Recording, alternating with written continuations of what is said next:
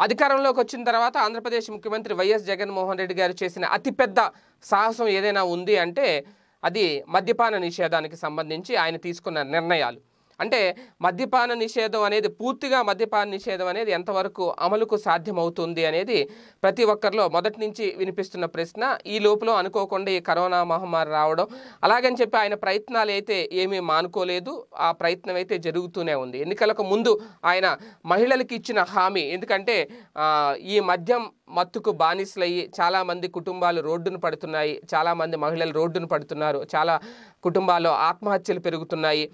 ఇదే నేపథ్యంలో నేరాలు పెరుగుతున్నాయి. వీటన్నింటినీ కంట్రోల్ చేయాలి అంటే మద్యపాన నిషేధం ఒక్కటే సరైన దారి అనేది జగన్మోహన్ రెడ్డి గారు అప్పట్లో అభిప్రాయం వ్యక్తం చేశారు. ఆ దిశగా అధికారంలోకి రాగానే మద్యపాన నిషేధం అమలు చేస్తానన్నారు. ఆ దిశగానే క్రమక్రమంగా మద్యపాన నిషేధం అమలుకు సంబంధించి కీలక నిర్ణయాలు తీసుకోవడం. అయితే ఎప్పుడైతే ఈ కరోనా మహమ్మారి రా వచ్చిందో ఈ కరోనా మహమ్మారి వల్ల చాలామంది ఇప్పుడు అసలు కంటే అంటే ఇప్పటికే మద్యం ధరలు పెంచేశారు. మద్యం ధరలు పెంచడం వల్ల సమాజానికి అంటే ప్రధానంగా రాష్ట్రానికి ఏమన్నా లాభం చేకూరుతుందేమో అని అనుకున్నారు. కానీ లాభం కల్లా నష్టం ఎక్కువ చేకూరడం. అంటే వాళ్ళు శానిటైజర్లు తాగేయడం నకిలీ మద్యాలు తాగేయడం దానికంటే ఈ సారాయి బట్టీలు పెరిగిపోవడం సారా అమ్మకాలు విపరీతంగా పెరిగిపోవడం వాటిని ఎంత కంట్రోల్ చే చేద్దామన్నా సరే ఎక్సైజ్ శాఖ పూర్తి కసరత్తు దాని మీద చేస్తున్నా పూర్తిగా దృష్టి సారిస్తున్నా సరే ఏదో ఒక వైపు నుంచి అయితే నాటుసారా విక్రయాలు అయితే జోరుగా సాగిపోతున్నాయి పెరిగిపోతున్నాయి. సో ఇటువంటి నేపథ్యంలో మళ్ళీ జగన్మోహన్ రెడ్డి గారు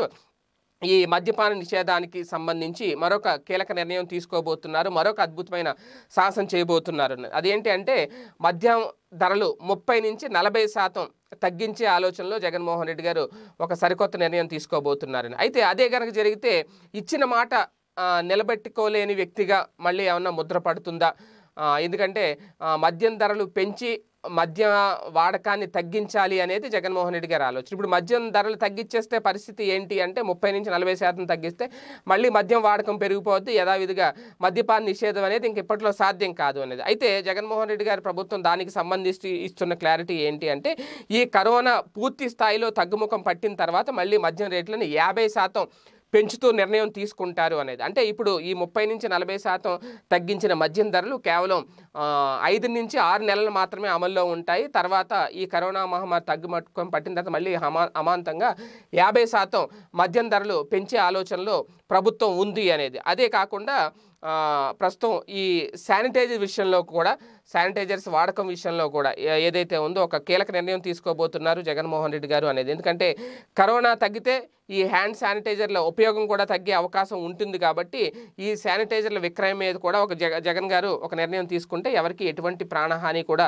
లేకుండా ఉంటుంది అనేది ఒక ఆలోచన. ఏదేమైనా రాష్ట్రంలో మద్యపాన నిషేధం మీద ఆయన జగన్మోహన్ రెడ్డి గారు ఇచ్చిన మాట నిలబెట్టుకుంటారో లేదో అనేది మళ్ళీ ఇప్పుడు ఆసక్తికరమైన అంశం. ఒకవేళ మద్యం ధరలు తగ్గించేస్తే ఇప్పుడున్న పరిస్థితుల్లో మద్యం వాడకం మళ్ళీ యథేచ్ఛగా పెరిగిపోతే మళ్ళీ భవిష్యత్తులో ఒకేసారి యాభై శాతం పెంచితే అసలు పరిస్థితులు ఎలా ఉంటాయి నిర్ణయాల వెనుక అసలు ఆంతర్యం ఏంటి ఇది ఎంతవరకు సాధ్యమవుతుంది అనేది వేచి చూడాలి అంటున్నారు రాజకీయ విశ్లేషకులు. ఈ వీడియో గనక మీకు నచ్చినట్లయితే లైక్ చేయండి షేర్ చేయండి. మరిన్ని వీడియోస్ కోసం మా ఛానల్ను సబ్స్క్రైబ్ చేయండి.